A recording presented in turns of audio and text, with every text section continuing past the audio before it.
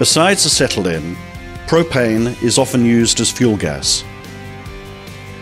Since propane is heavier than air, it accumulates at ground level in case of leakage and uncontrolled flow. This creates a high risk of explosion with potentially devastating results.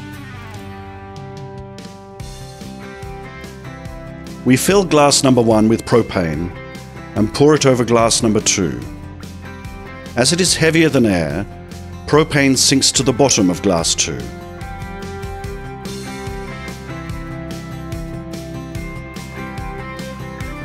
In glass number one, which now contains air, nothing happens when we introduce a flame, whereas the propane ignites immediately in glass number two.